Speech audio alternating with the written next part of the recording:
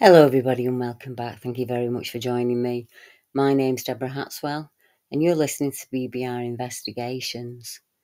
Tonight, I'd like to share with you some accounts from some of the oldest Bigfoot researchers and investigators of the UK wildman here on this island. I often see videos now on YouTube and TikTok, you know, where people are out in the wild investigating at a location or, you know, are just unlucky in the site that they choose for the night. It's a growing trend and not one I like, if I'm honest. These videos range from people not really used to the outdoors reporting natural and human activity, sounds that happen often in a rural setting, all the way through to complete, let's be honest, fabrication for views. In my time here at BBR, I've seen YouTube channels literally fake a Bigfoot structure at the back of their tent just for clicks and likes. And I wouldn't do that to my subscribers, and I wouldn't expect you to accept that from me. But little is known of the people who set out in the days before apps and Wi Fi and the internet were even a thing. Their experiences happened privately, they're ongoing, and they wouldn't be shared in a group setting for many years to come. For the majority of these men and women are out in the wilds. They are camping in the remotest of areas when they experience something that sets them on a path of investigation. And in some cases, that can take decades. One of the best researchers here in the UK is a chap that I will refer to as JC. I first met him in 2012 when I joined the original BBR group for the very first time. I was absolutely overjoyed when I found it. There were so many British witnesses chatting about their experience in a private setting. It was just like a breath of fresh air for me. It was back in the day when we'd be looking for anything that stood out unusual in the woodlands. Many of JC's finds were similar to my own, and he's amassed a great deal of knowledge on the subject of the British wildman. He has multiple captures of these creatures in his natural setting. In a recent video, you see a FLIR image of a figure moving. When finding an anomaly, he always goes back, takes a comparison shot, and often videos the areas he visits, and that's what he did with the FLIR capture. He also takes size comparison images, never edits, crops, or embellishes his content in any way. As I said, I believe he is amongst the top echelon when it comes to researchers here in the UK. His knowledge of the woodlands is far better than mine. JC is incredibly private, and to be honest, getting him to share with me what happened in Hamsterley Forest was like pulling teeth. He's also very thorough, and over the decades, he has eliminated any natural animal or human sign that he finds in the woodlands, and he can now tune into the very intricate clues left behind by our wildman as they move through the area. He's also studied many ancient languages, runes, uh, the Vinca language, Ogham, to try and match the glyphs that he finds, and he's been able to do that. He's very well acquainted with their etiquette, what is acceptable in their home areas and what is not, and he learnt that the hard way. As I say, this all started in Hamsterley Forest for JC when he was wild camping with several friends. JC is local to Northumberland. Lives in a beautiful part of the world. Tucked up against the Scottish border, it has a vast and varied hunting and outdoor culture still. People still live in the old ways. There are small, tiny hamlets and villages that haven't changed much over the years. Farmers talk about strange animal kills, figures on their land, or cattle that vanish overnight. Hamsterley Forest covers around 5,000 acres. The forest is managed now by the Forestry of England and it's full of walking and cycling trails. But if you go off the trail, it is dense. In the heart of the forest is a privately owned property called the Grove, which was once a hunting lodge. And a local tale tells of a phantom horse and rider which has been seen and heard galloping to the grove, and the face of the rider is reputed to be covered in blood. Now, many believe that uh, the Rolls reports are that of a highwayman. However, the Surtees family who owned the hall did have a horse riding tragedy between nearby Raby Castle and Hamsterley Forest. In 1803, Crozier Surtees was found dead in the river after riding back from a banquet at the castle. It was believed he fell from his horse while drunk and froze to death in the river. Other rumours say he was in flight in the forest from something chasing his horse. I guess we'll never know. But I do know there's more than one scary encounter that's happened there. I saw the Hamsterley Wildman, 1998. Witness JC. Many years ago now, myself and two mates were camping in Hamsterley Forest, which is situated in the northeast of England. It's something we did often and with permission from the ranger, as we always left the area in the same way that we found it. On this trip, we'd camped in a field just a ways off from the ranger's hut. We'd set up our camp, unwound, and went about enjoying the day. We had a few beers, and by about 11pm, we decided to go for a walk to get some air before bed. We all went off together and walked for no more than about 20 minutes when things started to get weird. We were spooked by the sudden noise of branches being broken as we walked along the trail. And off to the side of us in the bushes, we could hear something moving along with us, and you could hear the sound of breaking branches and limbs. We are used to the outdoors, and we'd not heard anything this big before. So, to be honest, we were spooked. We all ran back to camp. We jumped in the tent, zipped up, and spent a very nervous night tossing and turning. But thankfully, nothing else happened. The next two nights were completely silent, and I managed to get some sleep. Apart from one strange experience, when I realised something was being rubbed on our tent from the outside. While it was happening, we all stayed put in the tent, and none of us went to investigate.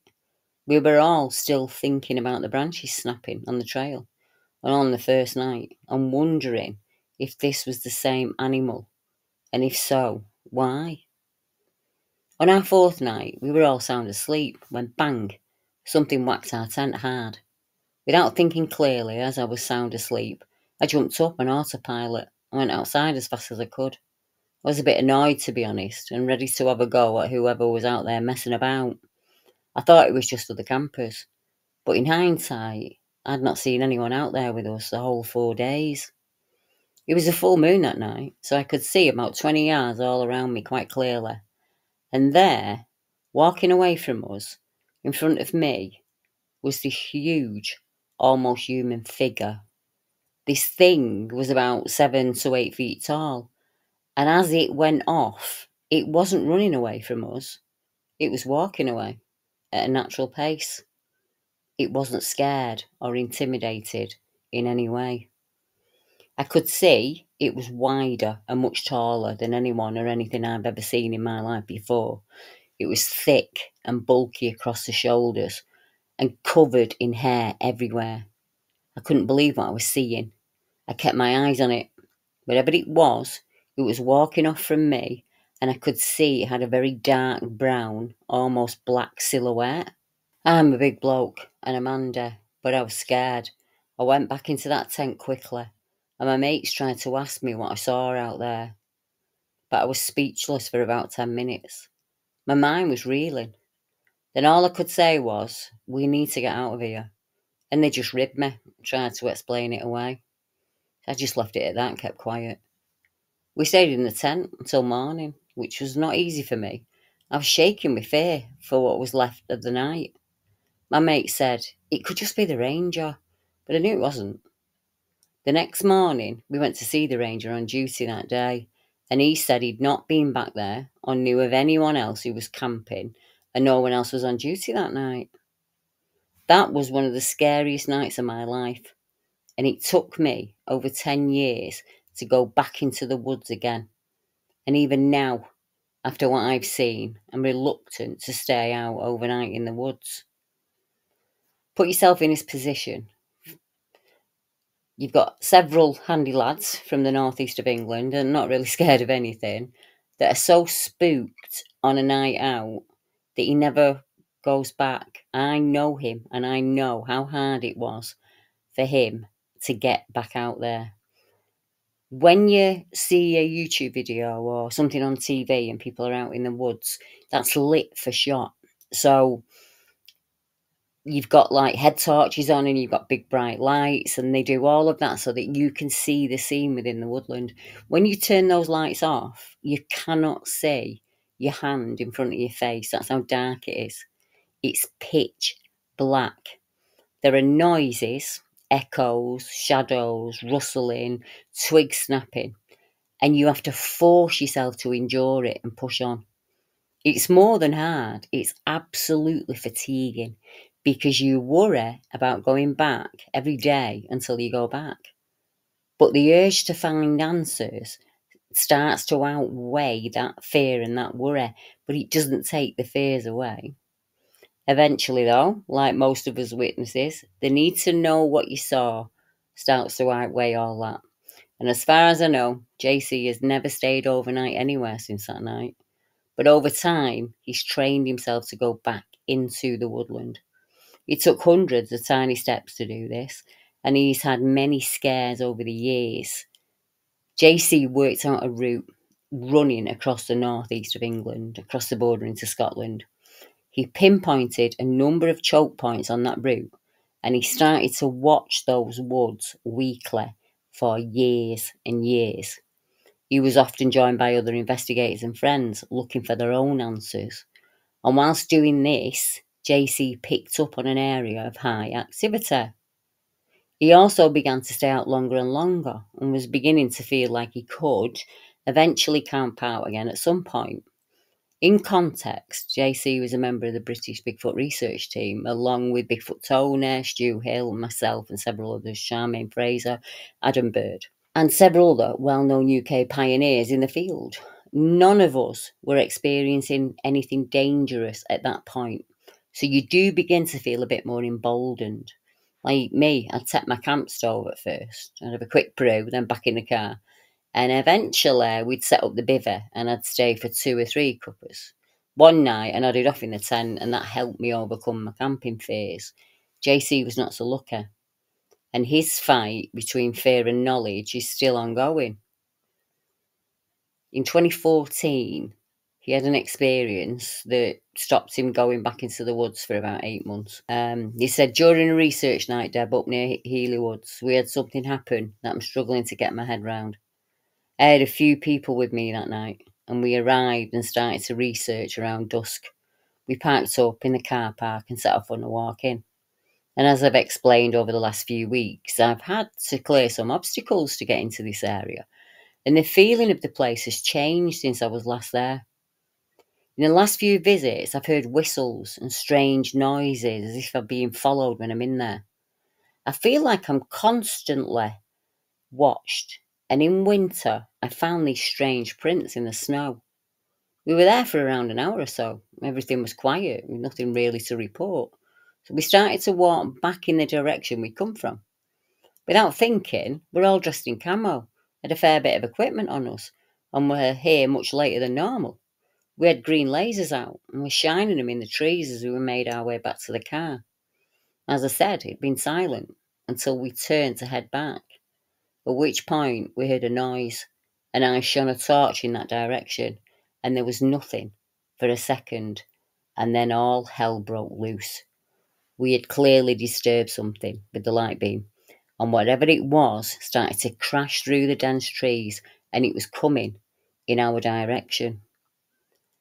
As it ran, it was snapping and breaking limbs as it went.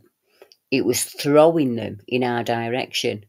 We headed back into the area the crashes were coming from, as we had to go back that way. I got about 10 feet onto the track and a big stick hit the tree I was next to with a loud bang.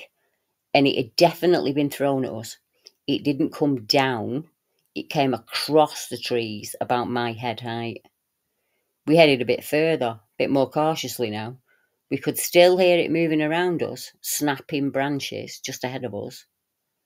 Then it got worse, much worse, as we heard a loud, chesty grunt. I know my animals, Deb, and it definitely wasn't a deer. It sounded much bigger and heavier.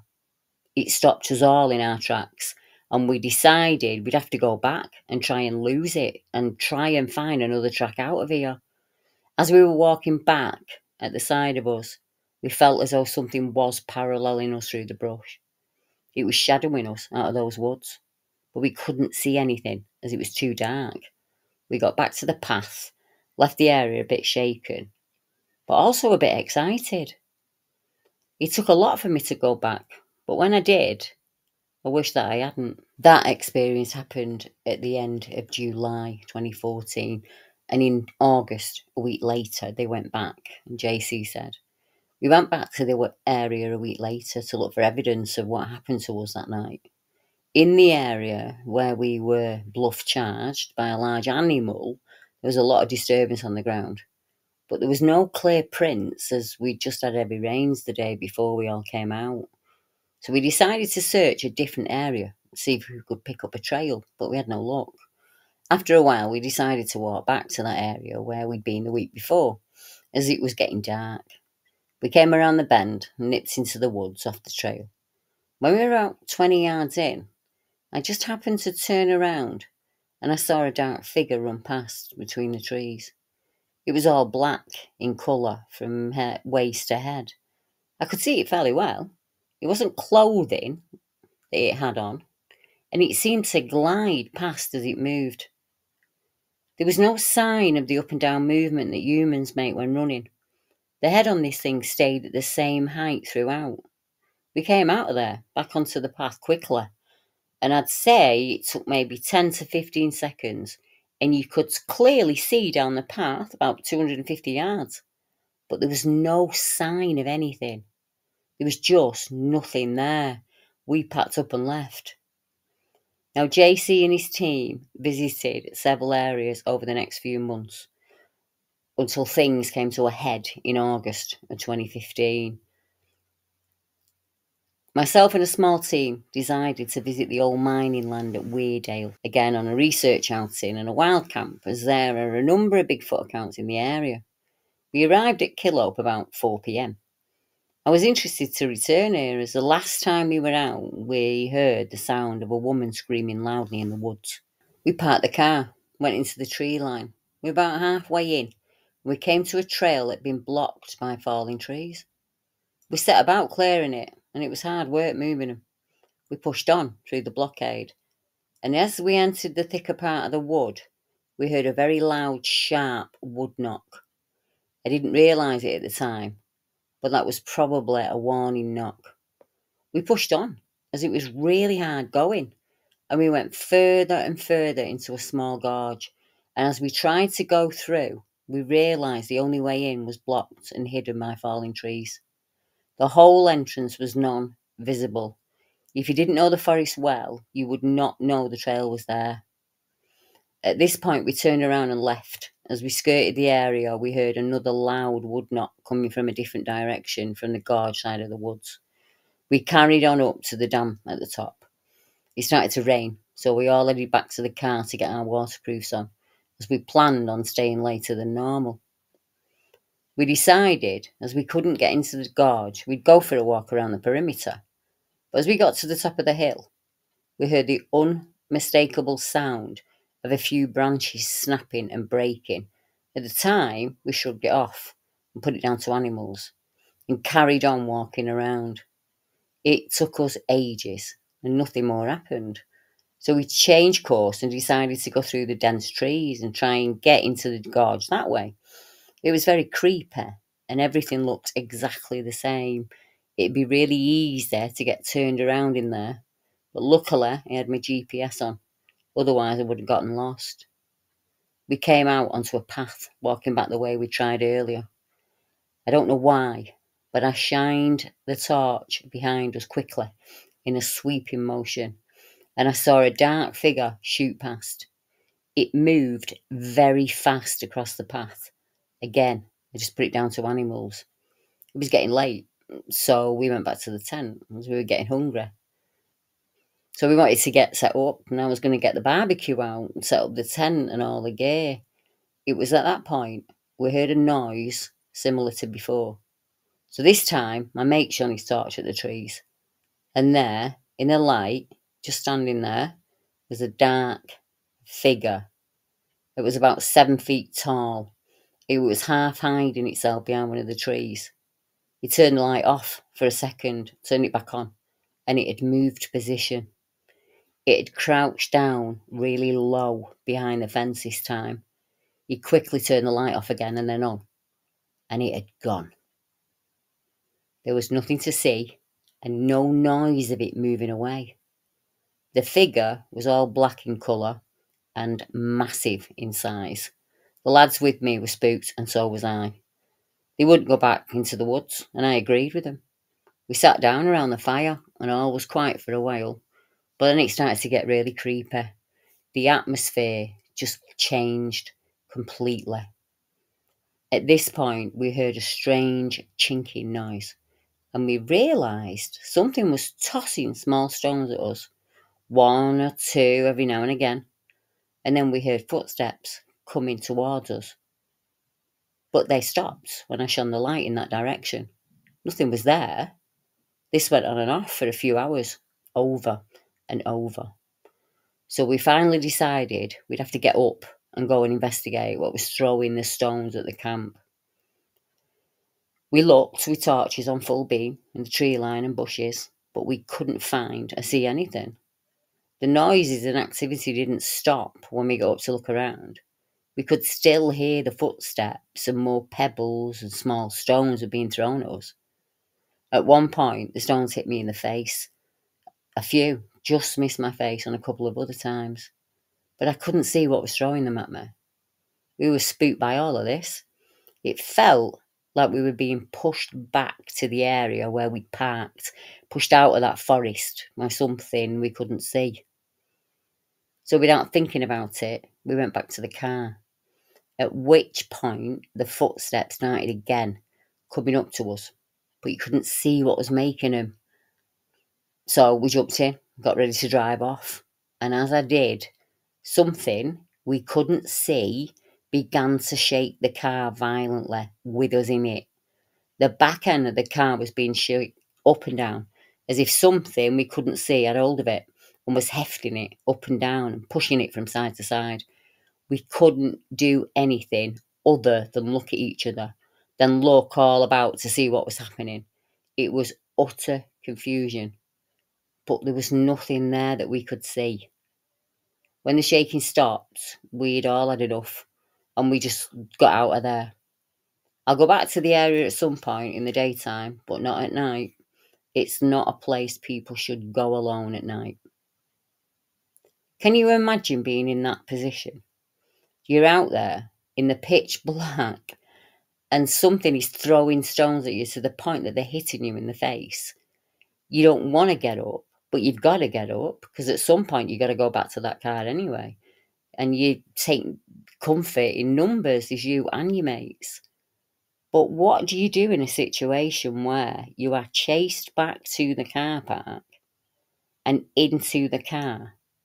And then the next thing your car begins to shake. Can you imagine what that must have felt like for them? You know, that's how strong the urge to know is. It, sick feeling or not, you've got to go back into that wood and start searching again. And it takes some minerals to do that, believe me. Now, this is just a fraction of the interaction that JC's had. He's still out there. And no matter how many times he's terrified in the woodlands, he finds a way to get back in there and try again. He's matched me in his thirst for knowledge on this subject. He wants answers, and he's found many on his journey. His knowledge is gold and should be shared, and his message too. He also says be very wary when you're out researching, and that's the number one thing he would advise. He has a YouTube channel, and I will add the link in the description below. He has some amazing evidence finds. JC sent me a video he'd taken recently where he found a footprint, and at the time he remembers hearing a noise, but it was on listening back at home he realised it was a growl He's got many audio clips and he'd love to be able to share them with anyone who thinks they can bring out the audio on some of his clips. He also has a host of images and videos where he captures some truly awesome evidence finds that I think you'll find as exciting as I do. If you want to do some analysis on these, feel free to get in touch with me. Over the years, people have reported their own scary experiences, many akin to the one JC and his team have had on their investigations. Stu Hill had an experience in his research area. He had a couple, and I'd like to feature some of his experiences in a future podcast. Damien Fellwanderer from um, Harwood area, he also has had some strange things happening to him out there in the woodlands and has some amazing evidence finds. So over the next few months, I'd like to bring more of the British Bigfoot subject back to the channel because I really enjoy it and showing you some of the early pioneers. I think will give people a real insight to the work that's been done prior to this becoming a household name now. And it's wonderful that it's a household name now. But we need to look at the evidence and the knowledge that these guys have. And we have to tap into that and make future investigators. One man who wasn't out there to hunt Bigfoot or cryptids of any kind was looking for wildcats here in the UK. He contacted me in 2015 about an experience he'd had in the Chilterns whilst trying to bait in a large cat. This happened in May of 2017. Hi, Deborah. I've followed your page, etc., for a while now, and to be honest, I've always found Bigfoot in the UK a bit of a push to believe, but I'm open minded, and I'm quite well known in big cat research in the southeast of England. I've camped out in many places overnight and spent days out in the woods in search of Britain's large cats. I know the diverse habitats in the UK, and I understand how large, intelligent animals can stay hidden from people and thrive quite easily. I'm used to bushcrafting, nature structures, and even I'm finding things I can't explain. Like the night in question.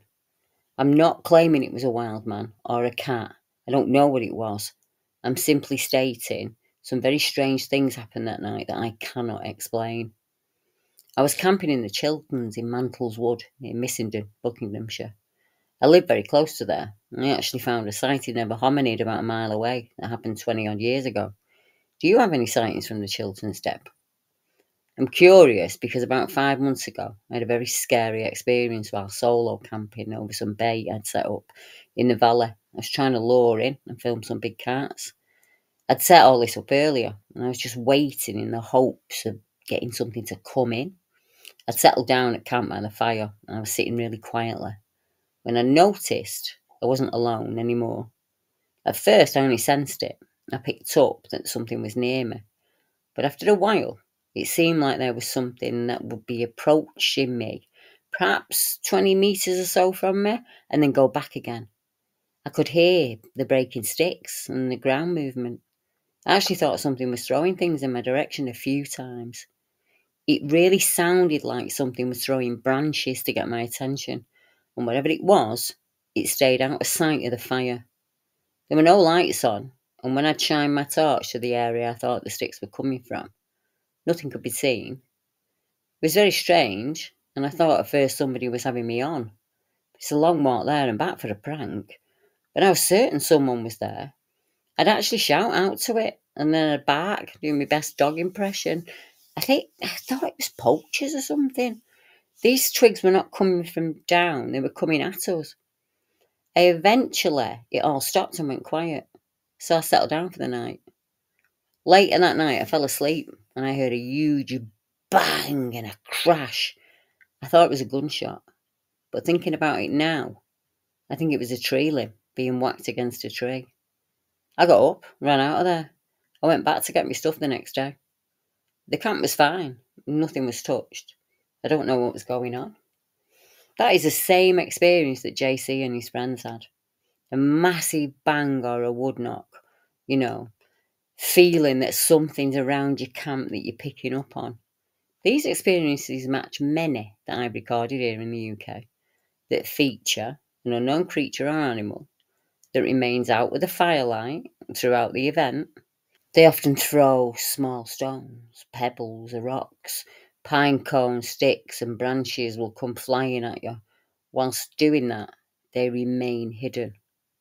That must be a scary experience. But can you imagine waking up encircled by a fire all around your camp?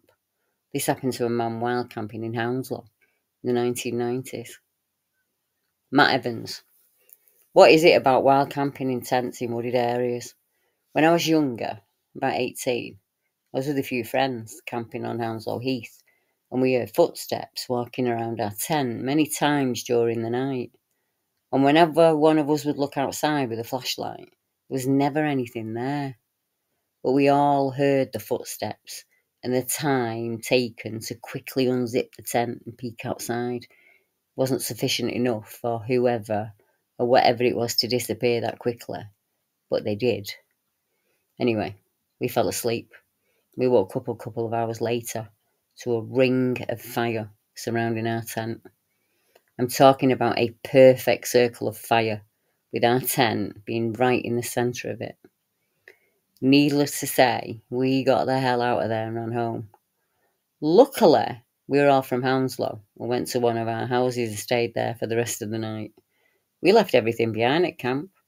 We went back to get our belongings during the next day. Sure enough, we got back to the tent and there was a black circle around the tent where the fire had burned the grass. I'm perfectly satisfied that it wasn't the work of kids. We hadn't told anyone, not even our parents, where we were going that night. And every one of us, there was four of us in total, heard the footsteps, but saw nothing upon inspection. I know one thing, if I know nothing else, and that's that camping out in wooded areas at night time is a very bad idea. I've never been back since. For our last case tonight, we're going to go over the border into Scotland and the, close to Grindstone Law and Hungry Law. There's an area, a place known as Spit Hole Bother. It's like a stone hut where you go. Um, and it was set up back in the day, for, obviously, for shepherds and things like that. But now it's used by walkers and hikers, wild campers, climbers, you know, the whole nine yards. In 2014, I got a report from a chap who's always out. He stayed in every single bothy that's out there. And he was telling me about an experience he had with some of his friends when he stayed over. And he said, Hi, Deb. I stayed at Spithope Bothy with three mates. While we were there, we saw lights that looked like the headlights of an approaching vehicle. But they couldn't be. You can't drive a car up there. But then, as they got closer, they turned into one light somehow. So we thought maybe it was a helicopter, but there was no noise to it. We'd walked in from the road and set up for the night. We were sat there listening to a football match with the top half of the bothy door open. Myself and my mate saw the lights as they came closer and grew in size. It was completely silent, so it wasn't even a drone or anything like that. We even questioned if it was a torch or a headlamp but that didn't fit with the movement either. Then it started to change colours, and it was a spectrum of them, moving very fast in a sort of pie chart visual. And then the light began making very fast triangular movements. Two of us that were there that night are believers of this type of thing, and two are not. You can imagine the crap our brains were coming out with, but whilst looking for explanations to what that light could be. It wasn't an ATV or a head torch. It was white at first until the colours changed, but it didn't light up anything around itself. It didn't light up the ground. There was no illumination coming from it. I've had interaction with lights in the sky since I was younger, but this one was the worst one yet. In the daylight, myself and my mate went to look to see if there were any signs of vehicles and we found a strange pattern of grass near the bothy, almost like it had been blown down from above. It was a strange night all round. After seeing the light, two of my mates refused to even talk about it. They acted as if the whole event didn't happen. We were all asleep and silent by 10 pm, and I don't remember anything other than listening to the football match and then seeing the light. Four grown men in a small bothy make for a fair bit of noise, and none of us made a sound all night long. I'm a keen wild camper, and I have been my entire life. Both myself and my mates are used to the outdoors, and we've camped at lots of bothies on both sides of the borders. On two occasions, I've heard a strange whoosh, a huffing noise that's really deep, like the test they use to check your lung function. One of those times, I had a mate with me, and he heard it too. We shot back into the bothy as soon as he heard it. When I was speaking with Thomas, I asked if any of his family members had experienced any strange lights or paranormal events, and he said yeah, and that his grandfather, like mine, was a merchant seaman. And when Tommy was little, he gave him two books. One was a survival book, and the second, his grandfather explained that he wouldn't understand that book until he got much older. That book was Chariot of the Gods. Next week, I'll be sharing with you some similar experiences that also involve some of our long term British Bigfoot and UK Wildman witnesses who set out to find their answers as I did. In those, I will be including any photographs, footprint finds, facial images that are in the BBR Facebook groups that I think you will enjoy seeing I haven't done a lot of work on the British Bigfoot recently because I've been spread so thin. But obviously, I absolutely love it. And it's my area of expertise, so to say. And I've got a lot of knowledge, like these guys, that I'd like to pass on. So, over the next few weeks, I'll be bringing you quite a few things on British Bigfoot. So if you're not tuning into the channel for that, I, I apologise, but I will still be doing all of the other subjects as well. It's just it's come to that time with me being off work now that I'm actually had a time to do this. I wanted to do this for a very long time. There are a lot of evidence finds that are in private collections here in the UK that have just simply never been shared because some of the people don't have social media. I mean, there are still people like that in the world. Um, I only have social media because I share my work there and people find me through that. And I'd like to share some of that evidence going forward with you all.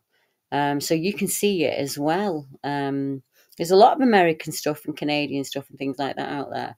There's a lot of British stuff too, and the Brits are really into the subject now. They're really interested in it. So I'll be bringing you um, as much as that as I can. I'm going to go through JC's work and I'm going to pull out some video clips and put them into a compilation for you so you can see them. This footprints is uh, video of him having things thrown at him. There's uh, audio of growls, actual speaking voices and chatter. Um, quite a few things. He's had some strange things happen to him over the years. And he's not one for hype. So he's never hyped his channel or anything like that. It's just a place where he stores his evidence, like the map is where I store mine. Um, and I'd like to get that out there to the public. So check out the description below because the link to his channel is there. Like I say, I'll be sharing some of his evidence with you guys going forward. Um, and I think as we go forward in the future, I'll be able to show you that the UK is not behind the ball when it comes to Bigfoot research. In fact, some of our investigators have the best evidence I've ever seen. And I can't wait to share that with you. So until next time, good night, everyone.